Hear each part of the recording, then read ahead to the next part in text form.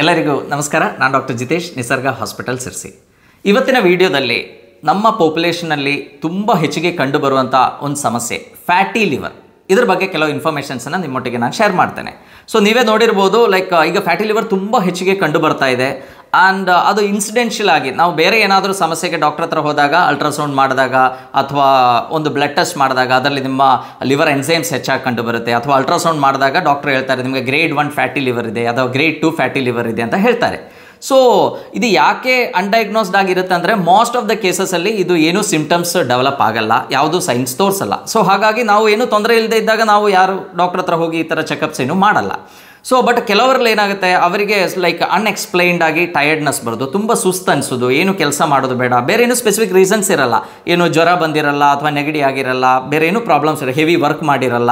But ಆದರೂ ತುಂಬ ಸುಸ್ತು ಅನಿಸುತ್ತೆ. ಅವರಿಗೆ ಏನು ಕೆಲಸ ಮಾಡೋದು ಬೇಡ ಅಂತ ಅನಿಸುತ್ತೆ. ಅಟ್ ದ ಸೇಮ್ ಟೈಮ್ ಕೆಲವರಿಗೆ ಡೈಜೆಸ್ಟಿವ್ ಇಶ್ಯೂಸ್ ಬರ್ಬೋದು. ಅಂದರೆ ಸರಿಯಾಗಿ ಹಸಿವು ಆಗ್ತಾ ಇಲ್ಲ. ತಿಂದರೂ ಕೂಡ ಒಂಥರ ನಾಸಿಯೇಟಿಂಗ್ ಫೀಲಿಂಗ್ ಬರುತ್ತೆ. ಮೋಷನ್ ಸರಿಯಾಗಿ ಹೋಗ್ತಾ ಇಲ್ಲ. ಇನ್ನು ಕೆಲವರಲ್ಲಿ ಲೈಕ್ ಈ ಹೈಪೋಕಾಂಡ್ರಿಯಾಕ್ ರೀಜನ್ ಅಂತ ಹೇಳ್ತೀವಿ. ಅಂದರೆ ನಮ್ಮ ಚೆಸ್ಟ್ ಕೆಳ ಕೆಳ ಭಾಗದಲ್ಲಿ, ಅಂದರೆ ರೈಟ್ ಸೈಡಲ್ಲಿ ಒಂದು ಸಣ್ಣಕ್ಕೆ ಒಂಥರ ಡಿಸ್ಕಂಫರ್ಟ್ ಅನಿಸೋದು, ಒಂದು ಟೈಟ್ನೆಸ್ ಅನಿಸೋದು, ಅಥವಾ ಸ್ವಲ್ಪ ಪೇಯ್ನ್ ಅನಿಸೋದು. ಸೊ ಈ ಥರ ಸಿಂಪ್ಟಮ್ಸ್ ಕಂಡಾಗ ನಾವು ಡಾಕ್ಟರ್ ಹತ್ರ ಹೋಗಿ ಚೆಕ್ ಮಾಡಿದಾಗ ಡಾಕ್ಟರ್ ಏನು ಮಾಡ್ತಾರೆ? ಒಂದು ಲಿವರ್ ಫಂಕ್ಷನ್ ಟೆಸ್ಟ್ ಬರೀತಾರೆ. ಸೊ ಆ ಲಿವರ್ ಫಂಕ್ಷನ್ ಟೆಸ್ಟಲ್ಲಿ ಲಿವರ್ ಎನ್ಸೈಮ್ಸ್ ಹೆಚ್ಚಾಗಿದ್ದು ಕಂಡು ಬರುತ್ತೆ ಆ್ಯಂಡ್ ನಾವು ಲಿಪಿಡ್ ಪ್ರೊಫೈಲ್ ಚೆಕ್ ಮಾಡಿದಾಗ ನಮ್ಮ ಟ್ರೈಗ್ಲಿಸರೈಡ್ ವ್ಯಾಲ್ಯೂಸ್ ತುಂಬ ಹೆಚ್ಚಿಗೆ ಇದೆ ಅಂತ ಕಂಡು ಬರುತ್ತೆ ಆ್ಯಂಡ್ ನಾವು ಸ್ಕ್ಯಾನಿಂಗ್ ಮಾಡಿ ನೋಡಿದಾಗ ಡಾಕ್ಟರ್ ಏನು ಹೇಳ್ತಾರೆ? ನಿಮಗೆ ಫ್ಯಾಟಿ ಲಿವರ್ ಪ್ರಾಬ್ಲಮ್ ಇದೆ ಅಂತ ಹೇಳ್ತಾರೆ. ಸೊ ಈ ವಿಡಿಯೋದಲ್ಲಿ ಈ ಫ್ಯಾಟಿ ಲಿವರ್ ಅಂದರೆ ಏನು? ಅದು ಬರಲಿಕ್ಕಿರೋ ಮುಖ್ಯ ಕಾರಣಗಳೇನು? ಅದು ಬಂದರೆ ಯಾವ ಥರ ಸೈನ್ಸ್ ಅಥವಾ ಅನ್ನು ಅದು ನಮಗೆ ಗೊತ್ತಾಗುತ್ತೆ.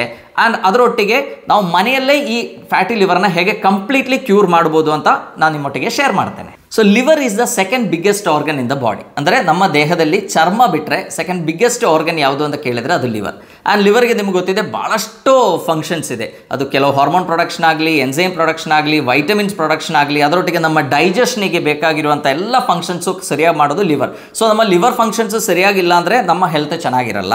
ಆ್ಯಂಡ್ ಲಿವರಿಗೆ ಒಂದು ಸ್ಪೆಷಾಲಿಟಿ ಇದೆ. ಅಂದರೆ liver cell can the regenerate ಅಂದರೆ ಒಂದು ಸಣ್ಣ ಲಿವರ್ ಪಿ ಇದ್ದರೂ ಕೂಡ one fourth of the liver ಇದ್ದರೂ ಕೂಡ ವಿತಿನ್ ನೋ ಟೈಮ್ ಅದು ರೀಜನ್ರೇಟ್ ಆಗಿ ಒಂದು ಕಂಪ್ಲೀಟ್ ಒಂದು ಫುಲ್ ಸೈಜ್ ಲಿವರ್ ಆಗುತ್ತೆ. ಬಟ್ ಆದರೂ ನಾವೇನು ಮಾಡ್ತೀವಿ? ನಮ್ಮ ಈ ತಪ್ಪು ಆಹಾರ ಕ್ರಮದಿಂದ, ನಾವು ರೆಗ್ಯುಲರ್ಲಿ ಹೈ ಕ್ಯಾಲರಿ ಫುಡ್ಡುಗಳು ತಗೊಳ್ಳೋದ್ರಿಂದ ಅಥವಾ ಜಂಕ್ ಫುಡ್ಸ್ ತಗೊಳ್ಳೋದ್ರಿಂದ ಅಥವಾ ಪ್ರಾಸೆಸ್ಡ್ ಫುಡ್ಗಳು ತಗೊಳ್ಳೋದ್ರಿಂದ over a period of time ಏನಾಗುತ್ತೆ ಅಂದರೆ ಲಿವರ್ ಸೆಲ್ಲಿಗೆ ಲೈಕ್ ರೀಜನ್ರೇಟು ಆಗಲಿಕ್ಕೆ ಆಗಲ್ಲ at the same time liver cell damage ಆಗಿ we end up in many complications ನಾವೆಲ್ಲ ಅರ್ಥ ಮಾಡ್ಕೋಬೇಕಾಗಿರೋ ಒಂದು ವಿಷಯ ಏನಂದರೆ, ಯಾವಾಗ ಒಂದು ಲಿವರ್ ಸೆಲ್ ಕಂಪ್ಲೀಟ್ಲಿ ಡ್ಯಾಮೇಜ್ ಆಗುತ್ತೋ, ಅಂದರೆ ಹೆಪಟೋಸೈಟ್ ಅಂತ ಹೇಳ್ತೀವಿ, ಅದು ಯಾವಾಗ ಕಂಪ್ಲೀಟ್ಲಿ ಡ್ಯಾಮೇಜ್ ಆಗುತ್ತೋ, ನಮಗೊಂದು ಲಿವರ್ ಸೆಲ್ ಲೈಕ್ ಸಿರೋಸಿಸ್ ಅಂತ ಒಂದು ಕಂಡೀಷನ್ ಡೆವಲಪ್ ಆಗುತ್ತೆ. ನೀವೆಲ್ಲ ನೋಡಿರ್ಬೋದು ಮೇನ್ಲಿ ಆಲ್ಕಹಾಲಿಕ್ಸಲ್ಲಿ ಕಂಡು ಬರುವಂಥ ಒಂದು ಸಮಸ್ಯೆ ಇದು. ದ ರೆಗ್ಯುಲರ್ಲಿ ಯಾರು ಆಲ್ಕಹಾಲ್ ತಗೊಳ್ತಾರೆ, ಅವರಿಗೆ ಲಿವರ್ ಸಿರೋಸಿಸ್ ಡೆವಲಪ್ ಆಗುವಂಥ ಸಾಧ್ಯತೆ ತುಂಬ ಹೆಚ್ಚಿಗೆ ಇದೆ. ಸೊ ಸಿರೋಸಿಸ್ ಡೆವಲಪ್ ಆದರೆ ಮತ್ತೆ ಅವರಿಗೊಂದು ಕಮ್ ಬ್ಯಾಕ್ ಇಲ್ಲ. ಅಂದರೆ ಅವರಿಗೆ ವಾಪಸ್ ನಾರ್ಮಲಿ ಬರಲಿಕ್ಕೆ ಆಗಲ್ಲ.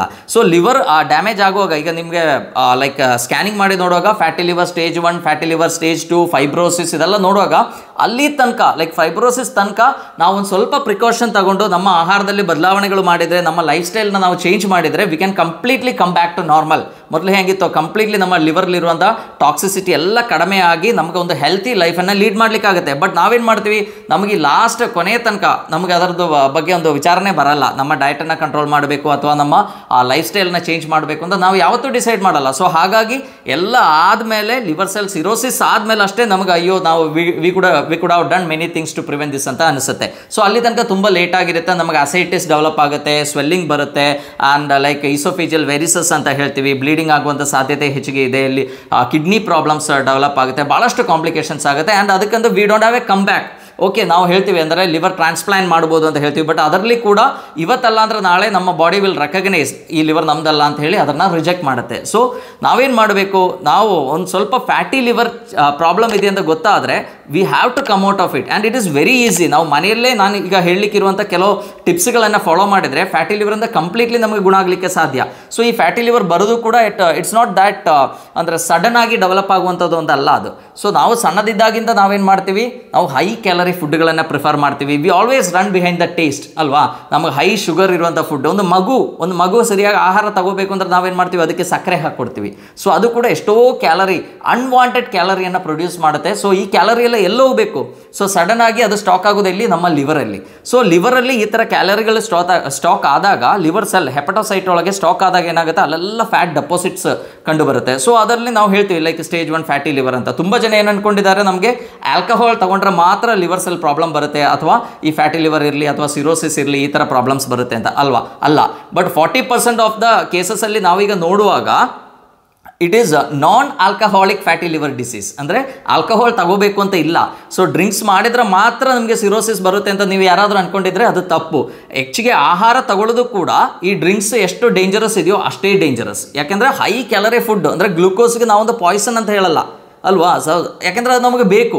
ಬಟ್ ಹೆಚ್ಚಿಗೆ ಪ್ರಮಾಣದಲ್ಲಿ ಆದಾಗ ಅದು ಕೂಡ that is a biggest enemy ನಾವು ಹೈ ಗ್ಲುಕೋಸ್ ಇರುವಂಥ ಆಹಾರಗಳು, ಅದು ಧಾನ್ಯಗಳಿರ್ಬೋದು ಸಕ್ಕರೆ ಇರ್ಬೋದು ಸಾಫ್ಟ್ ಡ್ರಿಂಕ್ಸ್ ಇರ್ಬೋದು, ಎಲ್ಲ ಈ ಪ್ರೊಸೆಸ್ಡ್ ಫುಡ್ಗಳಿರ್ಬೋದು ಸೊ ಇದೆಲ್ಲ ತಗೊಂಡಾಗ ನಮಗೆ ಅನ್ವಾಂಟೆಡ್ ಆಗಿ ನಮ್ಮ ರಕ್ತದಲ್ಲಿ ತುಂಬ ಗ್ಲುಕೋಸ್ ಅಂಶ ಹೆಚ್ಚಾಗುತ್ತೆ ಫ್ರಕ್ಟೋಸ್ ಅಂಶ ಹೆಚ್ಚಾಗುತ್ತೆ. ಸೊ ಇದೆಲ್ಲ ಎಲ್ಲಿಗೆ ಸ್ಟಾಕ್ ಮಾಡಬೇಕು?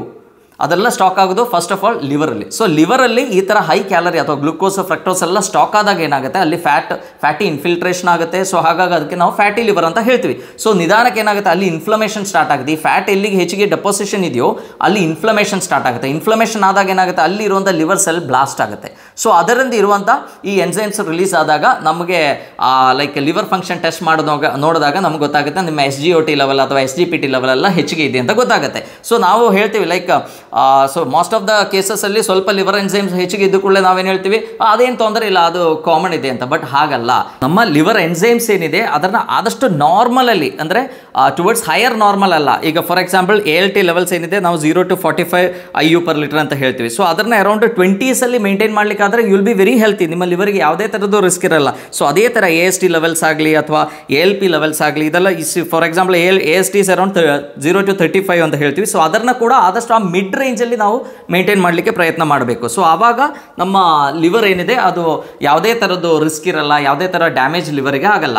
ಸೊ ನಾನು ಹೇಳಿದ್ದೇನು ಸೊ ಈ ಫ್ಯಾಟ್ ಡೆಪಾಸಿಟ್ ಆದಾಗ ಲಿವರ್ ಸೆಲ್ ಇನ್ಫ್ಲಮೇಷನ್ ಆಗಿ ಅದು ಯಾವಾಗ ಬ್ಲಾಸ್ಟ್ ಆಗುತ್ತೋ ಆವಾಗ ಈ ಥರ ಎನ್ಸೈಮ್ಸ್ ಏನಿದೆ ಅದೆಲ್ಲ ರಿಲೀಸ್ ಆಗುತ್ತೆ. ಸೊ ಅದು ನೋಡಿ ನಾವೇನು ಹೇಳ್ತೀವಿ? ಓಕೆ ನಿಮಗೆ ಫ್ಯಾಟಿ ಲಿವರ್ ಚೇಂಜಸ್ ಇದೆ ಲಿವರಲ್ಲಿ ಫ್ಯಾಟಿ ಇನ್ಫಿಲ್ಟ್ರೇಷನ್ ಇದೆ ಅಂತ ಹೇಳ್ತೀವಿ. ಸೊ ಈ ಸ್ಟೇಜಲ್ಲಿ ನಾವು ಅದಕ್ಕೆ ಕೇರ್ ಕೊಡದೆ ನಾವು ಲೈಕ್ ನಮ್ಮ ರೆಗ್ಯುಲರ್ ಹ್ಯಾಬಿಟ್ಸನ್ನು ಅದೇ ಥರ ಕಂಟಿನ್ಯೂ ಮಾಡ್ತೀವಿ. ನಾವು ರೆಗ್ಯುಲರ್ ಆಗಿ ತುಂಬ ಹೈ ಕಾರ್ಬೋಹೈಡ್ರೇಟ್ ಫುಡ್ ಎಲ್ಲ ತಗೊಂಡ್ರೆ ಏನಾಗುತ್ತೆ? It will go to the stage two ಅಲ್ವಾ? ಅಲ್ಲಿ ಇನ್ಫ್ಲಮೇಷನ್ ಹೆಚ್ಚಾಗಿ ಆ್ಯಂಡ್ ಅದರಲ್ಲಿ ಫೈಬ್ರೋಸಿಸ್ ಸ್ಟಾರ್ಟ್ ಆಗುತ್ತೆ. ಅಂದರೆ ಲಿವರ್ ಸೆಲ್ ಡ್ಯಾಮೇಜ್ ಆಗಿ ಅಲ್ಲಿ ಸ್ಕಾರಿಂಗ್ ಸ್ಟಾರ್ಟ್ ಆಗುತ್ತೆ. ಸೊ ಅವಾಗಲೂ ನಾವು ಅದನ್ನು ಕೇರ್ ತಗೊಳ್ಳಿಲ್ಲ ಅಂದರೆ ನೆಕ್ಸ್ಟ್ ಸ್ಟೇಜ್ ಸಿರೋಸಿಸ್ ಸೊ ನಮಗೆ ಅಲ್ಲಿಂದ ಒಂದು we don't have a come back ಅಂದರೆ ಸಿರೋಸಿಸ್ ಆದಮೇಲೆ ಲಿವರ್ ಸೆಲ್ ಡ್ಯಾಮೇಜ್ ಆಗಿರುತ್ತೆ. ನಮಗೆ ಭಾಳಷ್ಟು ಸೀರೀಸ್ ಆಫ್ ಪ್ರಾಬ್ಲಮ್ಸ್ ಆ್ಯಂಡ್ ಅದಕ್ಕೆ ಮೆಡಿಕೇಷನು ಇಲ್ಲ.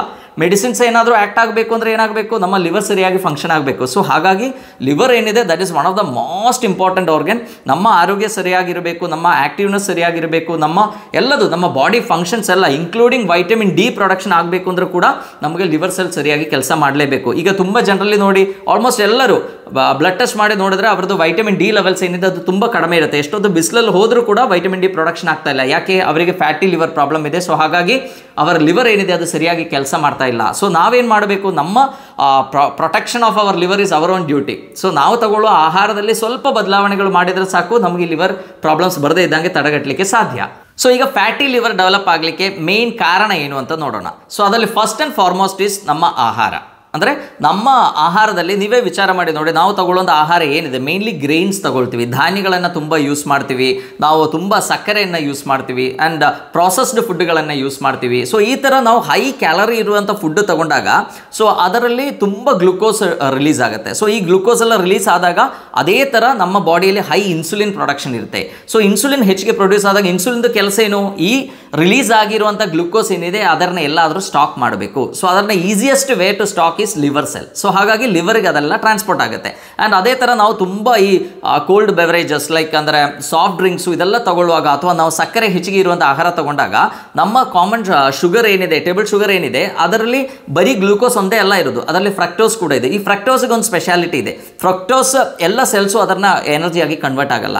So fructose easily take up ಮಾಡೋದು ಯಾರು? ಲಿವರ್ ಸೆಲ್ಸ್ ಸೊ ಹಾಗಾಗಿ ಲಿವರ್ಲಿ ಫ್ಯಾಟ್ ಡೆಪಾಸಿಷನ್ ಹೆಚ್ಚಾಗುವಂಥ ಸಾಧ್ಯತೆ ಹೆಚ್ಚು. ಸೊ ಹಾಗಾಗಿ ನಾವು ಫಸ್ಟ್ ಏನು ಮಾಡಬೇಕು? ನಿಮಗೆ ಈ ಫ್ಯಾಟಿ ಲಿವರ್ ಪ್ರಾಬ್ಲಮ್ ಇದ್ದರೆ first of all you should leave sugar ಶುಗರ್ನ completely eliminate ಮಾಡಲೇಬೇಕು. So one reason is high calorie food so ಅದೇ ಥರನೇ ಒಬೇಸಿಟಿಯಲ್ಲಿ ಸೊ ಒಬೇಸಿಟಿ ಇರಲಿ ಡಯಾಬಿಟಿಸ್ ಇರಲಿ, ಇವರಲ್ಲೆಲ್ಲ ಕಂಡುಬರುವಂಥ ಒಂದು ಕಾಮನ್ ಪ್ರಾಬ್ಲಮ್ ಏನು ಅಂದರೆ ಇನ್ಸುಲಿನ್ ರೆಸಿಸ್ಟೆನ್ಸ್ ಇನ್ಸುಲಿನ್ ರೆಸಿಸ್ಟೆನ್ಸ್ ಅಂದರೆ ನಮ್ಮ ದೇಹದಲ್ಲಿರುವ ಇನ್ಸುಲಿನನ್ನು ಅದು ಬಾಡಿ ಸರಿಯಾಗಿ ಐಡೆಂಟಿಫೈ ಮಾಡಲ್ಲ. ಸೊ ಹಾಗಾಗಿ ಪ್ಯಾಂಕ್ರಿಯಸ್ ಏನು ಮಾಡುತ್ತೆ? ಇನ್ನೂ ಹೆಚ್ಚಿಗೆ ಹೆಚ್ಚಿಗೆ ಇನ್ಸುಲಿನ್ ಪ್ರೊಡ್ಯೂಸ್ ಮಾಡ್ತಾ ಇರ್ತದೆ. And insulin is a storage hormone so insulin ಬ್ಲಡ್ಡಲ್ಲಿ ಹೆಚ್ಚಾಗೋದು ಕೂಡ ಈ ಲಿವರಲ್ಲಿ fat deposit ಹೆಚ್ಚಾಗಲಿಕ್ಕೆ one of the main reason ಅಂತ ನಾವು ಹೇಳ್ಬೋದು. ಇನ್ನು ಬಿ ಪಿ ಕಾಯಿಲೆ ಇದ್ದವರಲ್ಲಿ ಅಥವಾ ಹೈ ಟ್ರೈಗ್ಲಿಸರೈಡ್ ಇದ್ದವರಲ್ಲಿ ಅಥವಾ ಹೈ ಕೊಲೆಸ್ಟ್ರಾಲ್ ಇದ್ದವರಲ್ಲಿ ಇವರಲ್ಲಿ ಕೂಡ ಈ ಪ್ರಾಬ್ಲಮ್ ಒಬೇಸಿಟಿ ಇದ್ದವರಲ್ಲಿ, ಇವರಲ್ಲೆಲ್ಲ ಈ ಫ್ಯಾಟಿ ಲಿವರ್ ಕಂಡು ಬರುತ್ತೆ ಸೊ ಅದಕ್ಕೆಲ್ಲ ಮೇನ್ ರೀಸನ್ ನಾನೀಗ ಹೇಳ್ದಂಗೆ ಇನ್ಸುಲಿನ್ ರೆಸಿಸ್ಟೆನ್ಸ್ ಇರ್ಬೋದು ಅಥವಾ ಹೈ ಕ್ಯಾಲರಿ ಇರುವಂಥ ಆಹಾರ ತಗೊಳ್ಳೋದು ಇರ್ಬೋದು. ಸೊ ಇದಲ್ಲದೆ ಇದೆಲ್ಲ ನಮ್ಮ ಲೈಫ್ ಸ್ಟೈಲಲ್ಲಿ ಬರುವಂಥ ಮಿಸ್ಟೇಕ್ಸಿಂದ ಆಗೋದು. ಅಲ್ವಾ? ನಾವು ರೆಗ್ಯುಲರ್ಲಿ ಹೈ ಕ್ಯಾಲರಿ ಫುಡ್ ತಗೊಳ್ಳೋದ್ರೆ. ಈಗ ಮಕ್ಕಳಲ್ಲಿ ಕೂಡ ಈ ಫ್ಯಾಟಿ ಲಿವರ್ ಪ್ರಾಬ್ಲಮ್ ಕಂಡು ಬರ್ತದೆ ಯಾಕಂದರೆ ಒಂದು ಮಗು ಸರಿಯಾಗಿ ತಿನ್ನಬೇಕು ಅಂದ್ರೆ ನಾವೇನು ಮಾಡ್ತೀವಿ? ಅವನಿಗೆ ಆಹಾರದಲ್ಲಿ ಸಕ್ಕರೆ ಹಾಕ್ಕೊಡ್ತೀವಿ. ಅಥವಾ ಅವ್ರು ಕೇಳುವಂಥ ಕುರ್ಕುರೆ, ಈ ಥರ ಐಟಮ್ಸ್ ಅಂದರೆ ಜಂಕ್ ಫುಡ್ಗಳನ್ನು ತುಂಬ ಹೆಚ್ಚಿಗೆ ತಿನ್ನಿಸ್ತೀವಿ. ಆ್ಯಂಡ್ ಈಸಿಯಾಗಿ ನಮಗೆ ಕೆಲಸ ಆಗಬೇಕು ಅಂದ್ರೆ ನಾವು ನೂಡಲ್ಸು ಈ ಥರ ಐಟಮ್ಸ್ ಪ್ರಿಫರ್ ಮಾಡ್ವಿ. ನೂಡಲ್ಸ್ ಇರ್ಬೋದು ಪಾಸ್ತಾ ಇರ್ಬೋದು. ಸೊ ಈ ಥರ ಐಟಮ್ಸ್ ಎಲ್ಲ ಕೊಡುವಾಗ we are just putting unwanted calorie ಅದರಲ್ಲಿ ನಾರಿನಾಂಶ ಇಲ್ಲ, ಏನು ನಮಗೆ ಬೇಕಾಗಿರೋ ಯಾವುದೂ ಮೈಕ್ರೋ ನ್ಯೂಟ್ರಿಯೆಂಟ್ಸ್ ಇಲ್ಲ. ಸೊ ಈ ಥರ ಆಹಾರಗಳು ರೆಗ್ಯುಲರ್ಲಿ ತಗೊಂಡಾಗ ನಮಗೆ ಫ್ಯಾಟಿ ಲಿವರ್ ಪ್ರಾಬ್ಲಮ್ ಬರುತ್ತೆ. ನಾವೇನು ನೋಡ್ತೀವಿ? ಮಗು ಚೆನ್ನಾಗಿದೆಯಾ? ದಪ್ಪ ದಪ್ಪಗಿದೆಯಾ? ಒಳ್ಳೆ ವೆಯ್ಟ್ ಚೆನ್ನಾಗಿದೆಯಾ ಅಂತ ಅಷ್ಟೇ ನೋಡ್ತೀವಿ. ಸೊ ನೀವು ಅದೆಲ್ಲ ನೋಡಬೇಕಾಗಿದ್ದು, ಮಗುದ ಆ್ಯಕ್ಟಿವಿಟಿ ನೋಡಬೇಕು, ಆ ಒಂದು ಎಲ್ಲ ಲೈಕ್ ವೆದರ್ ಹೀಸ್ ಹೆಲ್ತಿ ಅಂತ ನೋಡಬೇಕು. ಅದು ಬಿಟ್ಟು ನಾವು ಚರ, ಸರಿಯಾಗಿ ತಿನ್ನಿಸಿ ಅವನಿಗೆ ದಪ್ಪ ಮಾಡೋದ್ರಿಂದ actually we are we are giving a foundation for diseases ಅಂದರೆ ಸಣ್ಣದಿದ್ದಾಗಿಂದ ಅವನಿಗೆ ಆ ಬೊಜ್ಜು ಬೆಳೆದು ಲಿವರಲ್ಲಿ ಕೂಡ ಫ್ಯಾಟ್ ಪರ್ಸೆಂಟೇಜ್ ಹೆಚ್ಚಾಗಿ ಸೊ ಅವರಿಗೆ ಫ್ಯೂಚರ್ಲಿ ಕಾಯಿಲೆಗಳು ಬರಲಿಕ್ಕೆ we are forming foundation actually so ನಾವು ಏನು ಮಾಡಬೇಕು? ಈ ಥರ ಜಂಕ್ ಫುಡ್ಡಿಂದ ನಮ್ಮ ಮಕ್ಕಳನ್ನು ದೂರ ಇಡಲೇಬೇಕು. ಆ್ಯಂಡ್ ಇದು ಒಂದೇ ಎಲ್ಲ ಕಾರಣಗಳು ಭಾಳಷ್ಟು ಕಾರಣಗಳಿದೆ. ಕೆಲವೊಂದು ಡ್ರಗ್ ಇಂಡ್ಯೂಸ್ಡ್ ಇರುತ್ತೆ. ನಾವು ಕೆಲವು ತಗೊಳ್ಳುವಂಥ ಕೆಲವು ಮೆಡಿಸಿನ್ಸಿಂದ ನಮಗೆ ಫ್ಯಾಟಿ ಲಿವರ್ ಪ್ರಾಬ್ಲಮ್ ಅಥವಾ ಲಿವರ್ ಸಿರೋಸಿಸು ಲಿವರ್ ಫೈಬ್ರೋಸಿಸ್ ಎಲ್ಲ ಬರುವಂಥ ಸಾಧ್ಯತೆ ಇದೆ. ಸೊ ಅದೇ ಥರ ವೈರಲ್ ಹೆಪಟೈಟಿಸಲ್ಲಿ ನಮಗೆ ಈ ಪ್ರಾಬ್ಲಮ್ಸ್ ಡೆವಲಪ್ ಆಗುವಂಥ ಸಾಧ್ಯತೆ ಇದೆ. ಆ್ಯಂಡ್ ನಾವು ಫಸ್ಟ್ ಹೇಳ್ದಂಗೆ ಈಗ ಆಲ್ಕೋಹಾಲ್ ರೆಗ್ಯುಲರ್ಲಿ ಕನ್ಸ್ಯೂಮ್ ಮಾಡೋರಲ್ಲಿ ಈ ಥರ ಪ್ರಾಬ್ಲಮ್ಸ್ ಬರುವಂಥ ಸಾಧ್ಯತೆ ಇದೆ. ಆ್ಯಂಡ್ ಕೆಲವು ಆಟೋ ಇಮ್ಯೂನ್ ಡಿಸೀಸಸ್ ಅಲ್ಲಿ ನಮಗೆ ಈ ಪ್ರಾಬ್ಲಮ್ಸ್ ಬರುವ ಸಾಧ್ಯತೆ ಇದೆ. ನಮ್ಮ ಹೊಟ್ಟೆಯಲ್ಲಿ ಇರುವಂಥ ಒಳ್ಳೆ ಬ್ಯಾಕ್ಟೀರಿಯಾಗಳಿಲ್ಲ ಅಂದರೆ ನಮಗೆ ಈ ಥರ ಪ್ರಾಬ್ಲಮ್ಸ್ ಬರುವಂಥ ಸಾಧ್ಯತೆ ಇದೆ. ಸೊ ದರ್ ಆರ್ ಡಿಫ್ರೆಂಟ್ ಭಾಳಷ್ಟು ಕಾರಣಗಳಿದೆ but foremost and highest ninety nine percent ಜನರಲ್ಲಿ ಈ like fatty liver ಬರ್ಲಿಕ್ಕಿರುವಂಥ main reason is unwanted calorie so ನಾವು ಅದನ್ನು ನಾವು ರೆಸ್ಟ್ರಿಕ್ಟ್ ಮಾಡಲೇಬೇಕು. ಲೇಟರ್ ನನ್ನ ವೀಡಿಯೋದಲ್ಲಿ ಯಾವ ಥರ ಆಹಾರ ಫಾಲೋ ಮಾಡಿದರೆ ವಿತಿನ್ ತ್ರೀ ಮಂತ್ಸ್ ನಿಮ್ಮ ಫ್ಯಾಟಿ ಲಿವರಿಂದ ನಿಮಗೆ ಹೊರ ಬರಲಿಕ್ಕೆ ಸಾಧ್ಯ ಅಂತ ನಾನು ನಿಮಗೆ ಶೇರ್ ಮಾಡ್ತೇನೆ. So most of the fatty liver problem ಇರೋರಲ್ಲಿ ನಾವು ನೋಡಿದಾಗ ಅವರಿಗೆ ಸೀರಮ್ ಇನ್ಸುಲಿನ್ ಲೆವೆಲ್ ಹೆಚ್ಚಿಗೆ ಇದೆ. ಸೊ ನಾನು ಫಸ್ಟ್ ಹೇಳಿದ್ದೇನೆ, ಅವರಿಗೆ ಇನ್ಸುಲಿನ್ ರೆಸಿಸ್ಟೆನ್ಸ್ ಬರುವಂಥ ಸಾಧ್ಯತೆ ಇದೆ. ಸೊ ಹಾಗಾಗಿ ಸೀರಮ್ ಇನ್ಸುಲಿನ್ ಲೆವೆಲ್ಸ್ ಅವರದ್ದು ಹೆಚ್ಚಿಗೆ ಇದೆ. And at the same time ಅವರದ್ದು ಟ್ರೈಗ್ಲಿಸರೈಡ್ ವ್ಯಾಲ್ಯೂಸ್ ತುಂಬ ಹೆಚ್ಚಿಗೆ ಇದೆ. ಯಾಕೆಂದರೆ ನಾವು ತುಂಬ ಧಾನ್ಯಗಳಿರುವಂಥ ಆಹಾರ ಅಥವಾ ಹೈ ಕಾರ್ಬೋಹೈಡ್ರೇಟ್ ಡಯಟ್ ತಿಂದಾಗ ಏನಾಗುತ್ತೆ? ನಮ್ಮ ಟ್ರೈಗ್ಲಿಸರೈಡ್ ಲೆವೆಲ್ ಹೆಚ್ಚಾಗುತ್ತೆ. ಈವನ್ ಡಾಕ್ಟರ್ ಅದನ್ನು ಅಲ್ಟ್ರಾಸೌಂಡ್ ಸ್ಕ್ಯಾನಿಂಗ್ ಮಾಡಿದ್ರೆ ಅದರಲ್ಲಿ ಎಷ್ಟು ಫ್ಯಾಟ್ ಇದೆ ಅಂತ ತೋರಿಸಲ್ಲ.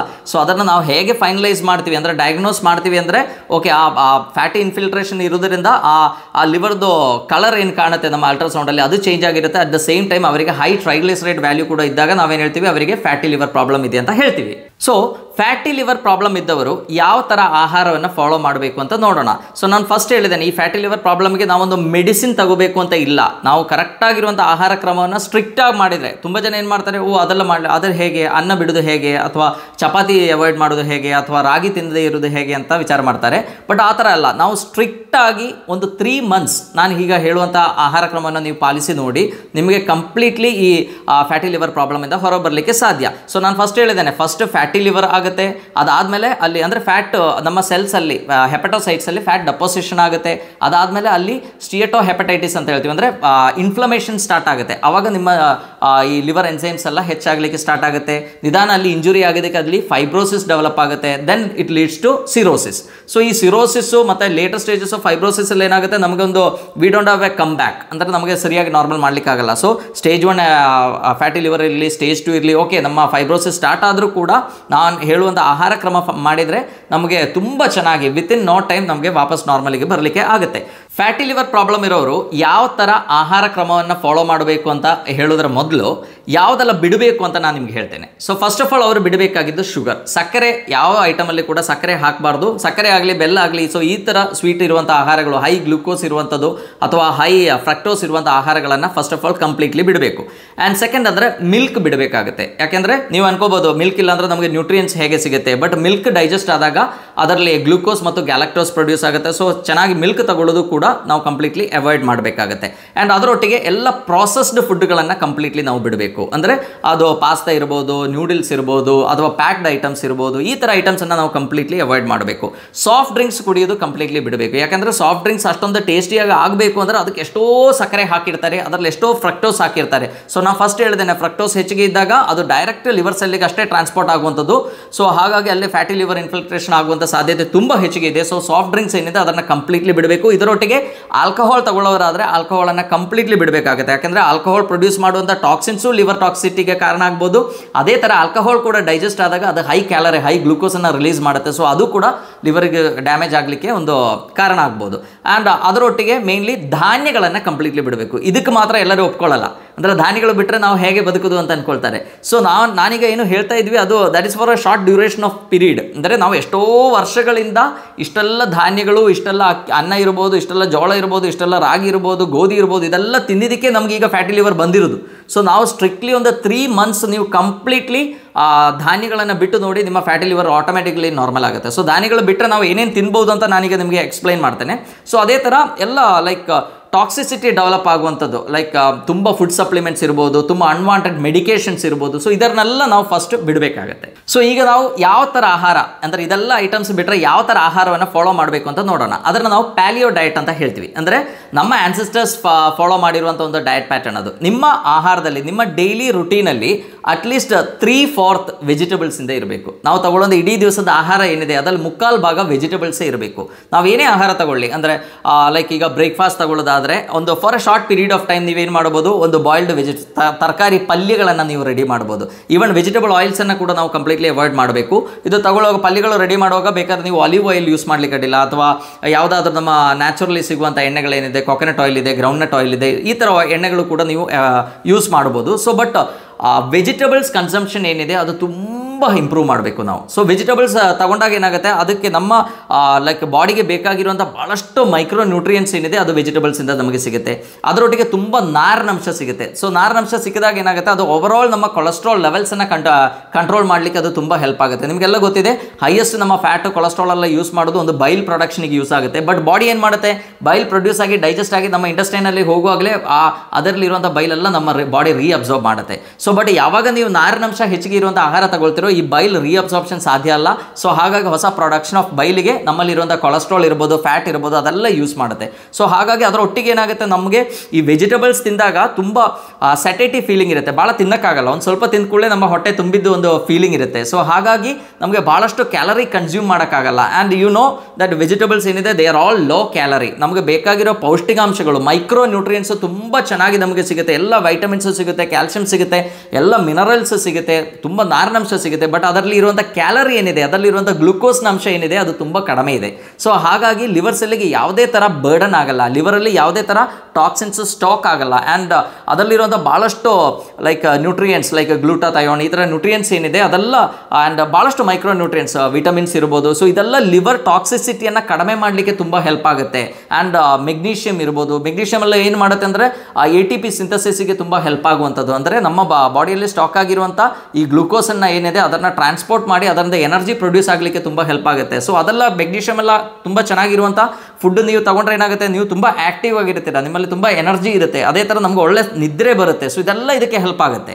ನೆಕ್ಸ್ಟ್ ನಮ್ಮ ಆಹಾರದಲ್ಲಿ ನಟ್ಸ್ಗಳನ್ನು ತುಂಬ ಚೆನ್ನಾಗಿ ಯೂಸ್ ಮಾಡಬೇಕು ನಾವು. ಅಂದರೆ ಅದು ನಿಮಗೆ ಕ್ಯಾಶ್ಯೂ ಇರ್ಬೋದು, ಬಾದಾಮ್ ಇರ್ಬೋದು ಪಿಸ್ಟ ಪಿಸ್ತಾ ಇರ್ಬೋದು ವ್ಯಾಲ್ನಟ್ ಇರ್ಬೋದು, ಯಾ ಎಲ್ಲ ಥರದ್ದು ನಟ್ಸ್ಗಳೇನಿದೆ ನಮ್ಮ ಡ್ರೈ ಫ್ರೂಟ್ಸ್ ಎಲ್ಲ ನಾನು ಹೇಳಿದ್ದು. ನಟ್ಸ್ಗಳನ್ನು ಹೆಚ್ಚಿಗೆ ನಾವು ಅವಕಾಡೋ ಇರ್ಬೋದು. ಇದೆಲ್ಲ ಇನ್ಕ್ಲೂಡ್ ಮಾಡಿದರೆ ಏನಾಗುತ್ತೆ?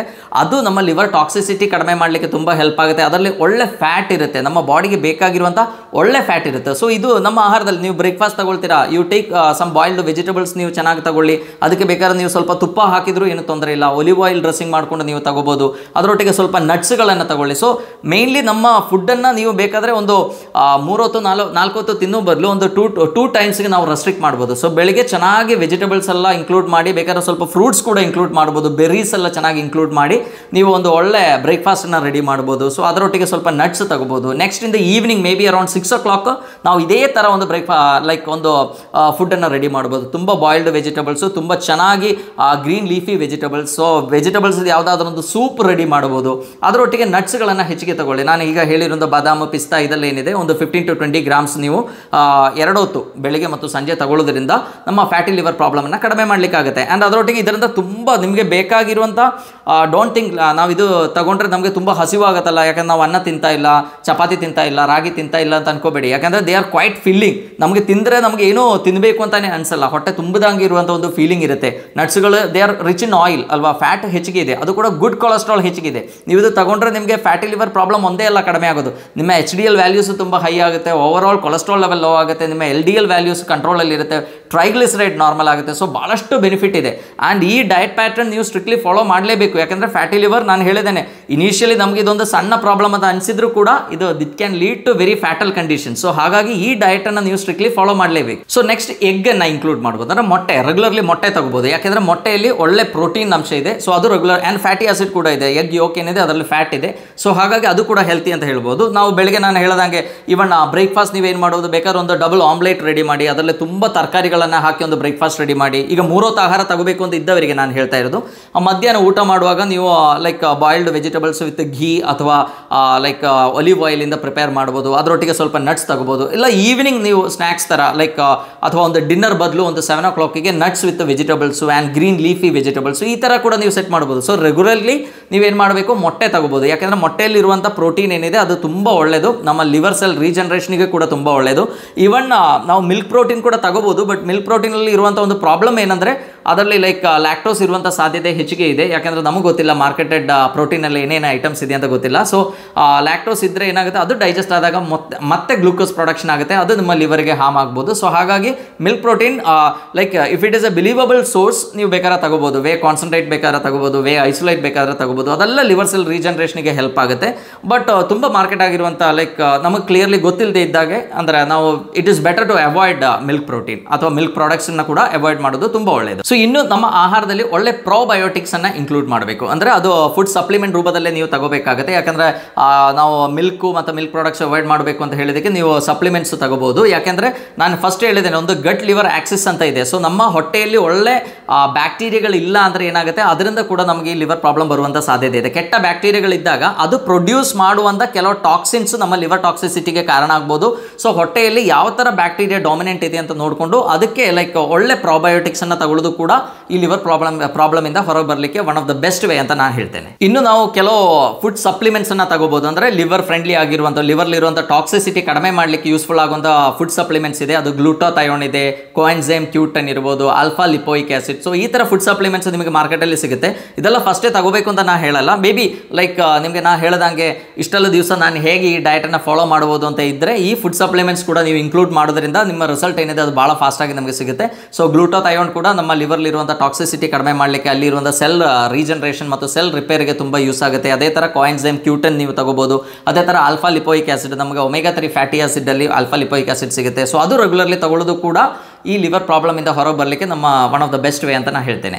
ಆ್ಯಂಡ್ ಸೊ ನಾನೀಗ ಲಿವರ್ ಪ್ರಾಬ್ಲಮ್ ಲೈಕ್ ಅಂದರೆ ಫ್ಯಾಟಿ ಲಿವರ್ ಏನಿದೆ that is not a very simple thing ಅಂತ ನಿಮಗೆ ಹೇಳಿದ್ದೇನೆ. ಅದನ್ನು ನೆಗ್ಲೆಕ್ಟ್ ಮಾಡಬೇಡಿ. ನಿಮ್ಮ ಲೆವರ್ ಲಿವರ್ ಎನ್ಸೈಮ್ ಸ್ವಲ್ಪ ಹೈಯರ್ ಲೆವೆಲ್ ಇದ್ದರೆ ಅವಾಗಲೇ ಪ್ರಿಕಾಷನ್ ತಗೊಂಡ್ರೆ ತುಂಬ ಒಳ್ಳೆಯದು ತುಂಬ three three times four times ಆಗೋಕ್ಕಿಂತನೂ, ಆ ಲಿವರ್ ಎನ್ಸೈಮ್ ಸ್ವಲ್ಪ ಹೆಚ್ಚಾದ ಕೂಡಲೇ ನಾನೀಗ ಹೇಳಿರುವಂಥ ಡಯಟ್ ಪ್ಯಾಟರ್ನ್ ನೀವು ಭಾಳ ದಿವಸ ಮಾಡಬೇಕು ಅಂತಿಲ್ಲ may be one or two weeks ಮಾಡಿದರೂ ಕೂಡ ನಿಮಗೆ you can completely come back to normal so initially ನಿಮ್ಮ ಲಿವರ್ ಎನ್ಸೈಮ್ ಸ್ವಲ್ಪ ಹೆಚ್ಚಾಗ್ತಾ ಇದ್ರೂ ಕೂಡ ಈ ಡಯಟ್ ಪ್ಯಾಟರ್ನನ್ನು ಫಾಲೋ ಮಾಡಿ ಗ್ರೈನ್ಸನ್ನು ಕಂಪ್ಲೀಟ್ಲಿ ಬಿಡಿ. I am not asking you to leave it for ever ಯಾವಾಗಲೂ ಲೈಫ್ ಲಾಂಗ್ ತಿನ್ನೋಕ್ಕಾಗಲ್ಲ ಅಂತಲ್ಲ ನಾನು ಹೇಳಿದ್ದು. ಸೊ ಅಟ್ಲೀಸ್ಟ್ ಒಂದು ತಿಂಗಳಾದರೂ ನೀವು ಸ್ಟ್ರಿಕ್ಟ್ಲಿ ಇದು ಮಾಡೋದ್ರಿಂದ ಏನಾಗುತ್ತೆ? ನಮಗೆ completely we can come back to normal ಇದರೊಟ್ಟಿಗೆ ಉಪವಾಸ ಇಂಟರ್ಮೆಟೆಂಟ್ ಫಾಸ್ಟಿಂಗ್ ಯಾಕೆಂದರೆ ನಾವು ಯಾವಾಗ ಏನು ಎನರ್ಜಿ ನಮ್ಮ ಬಾಡಿಗೆ ಸಪ್ಲೈ ಮಾಡಲ್ಲೋ, ಆವಾಗ ನಮ್ಮ ದೇಹದಲ್ಲಿರುವಂಥ ಸ್ಟಾಕನ್ನು ಯೂಸ್ ಮಾಡಿ ನಮ್ಮ body will run the activities ಅಲ್ವಾ? ಸೊ ನಮ್ಮ ದೇಹದಲ್ಲಿ ನಿಮ್ಗೆ ಗೊತ್ತಿದೆ ಇಂಟರ್ಮಿಟೆಂಟ್ ಫಾಸ್ಟಿಂಗಲ್ಲಿ ಆಟೋಫೇಜಿ ಅಂತ ಒಂದು ಪ್ರಾಸೆಸ್ ಆಕ್ಟಿವೇಟ್ ಆಗುತ್ತೆ. ಆಟೋಫೇಜಿ ಇದ್ದಾಗ ನಮ್ಮ ಲಿವರಲ್ಲಿ ಇರುವಂಥ ಲಿವರ್ ಸೆಲ್ಸಲ್ಲಿ ಇರುವಂಥ ವೇಸ್ಟ್ಗಳನ್ನು ಪ್ರಾಸೆಸ್ ಮಾಡಿ ಎನರ್ಜಿ ಪ್ರೊಡಕ್ಷನ್ ಆಗುತ್ತೆ. ಸೊ ಹಾಗಾಗಿ liver ಕ್ಲೆನ್ಸಿಂಗಿಗೆ one of the best way ಏನು ಅಂತ ಕೇಳಿದರೆ ದಟ್ ಈಸ್ ಅ ಫಾಸ್ಟಿಂಗ್ ಉಪವಾಸ, ಸರ್ವೇ ರೋಗ, ಮಲವಶ, ಲಂಕಣಂ, ಪರಮೌಷಧಂ ಅಂತ ಹೇಳ್ತೀವಿ. ಅಂದರೆ fasting is the best medicine so ಈಗ ಅದಕ್ಕೆ ನಾಮಲ್ ಪ್ರೈಸ್ ಸಿಕ್ಕಿದೆ ಬಟ್ ಈ ಆಟೋಫೇಜಿ ಏನಿದೆ, ಅದು like that is a one of the best way way to cleanse your body ಅದು ಲಿವರ್ ಒಂದೇ ಅಲ್ಲ, ಇಡೀ ಬಾಡಿ ಕ್ಲೆನ್ಸ್ ಆಗಲಿಕ್ಕೆ that is one of the best way ನೀವು ಮನುಷ್ಯನ ಬಿಟ್ಟು ಯಾವುದೇ ಪ್ರಾಣಿ ನೋಡಿ, ಅದಕ್ಕೆ ಏನಾದರೂ ಲಿವರ್ ಪ್ರಾಬ್ಲಮ್ ಇದೆ ಅಥವಾ ಏನಾದರೂ ಡೈಜೆಷನ್ ಪ್ರಾಬ್ಲಮ್ ಇದೆ ಅದು ಏನು ಆಹಾರ ತಗೊಳ್ಳಲ್ಲ ಇನ್ಫ್ಯಾಕ್ಟ್ ಹುಲ್ಲು ಏನಾದರೂ ತಿಂದು ವಾಂತಿ ಮಾಡುತ್ತೆ. ಸೊ ಅದು that is one of the best way to get rid of the toxins in the body so ಹಾಗಾಗಿ ನಾವೇನು ಮಾಡಬೇಕು? ನಮ್ಮ ಹೈ ಕನ್ಸಂಪ್ಷನ್ ಆಫ್ ಫುಡ್ ನಾವು ತುಂಬ ತಿಂದರೆ ಮಾತ್ರ ನಮ್ಮ ಆಹಾರ ಆರೋಗ್ಯ ಚೆನ್ನಾಗಿರುತ್ತೆ ಅಂತ ಕನ್ಸೆಪ್ಟನ್ನು ಬಿಡಬೇಕು.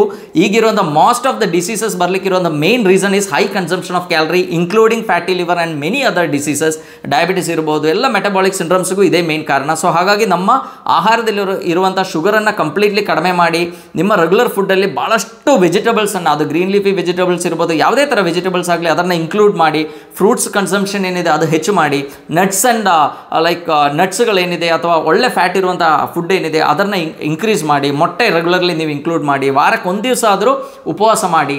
ಸೊ ಈ ಟಿಪ್ಸ್ಗಳನ್ನು ನೀವು ಫಾಲೋ ಮಾಡಿದರೆ ನಿಮ್ಮ ಫ್ಯಾಟಿ ಲಿವರ್ ಪ್ರಾಬ್ಲಮ್ ಏನಿದೆ ವಿತಿನ್ ಒನ್ ಮಂತ್ ನೀವು ಕಡಿಮೆ ಮಾಡ್ಬೋದು ಅಂತ ಹೇಳ್ತಾ ಎಲ್ಲರಿಗೂ ಧನ್ಯವಾದ.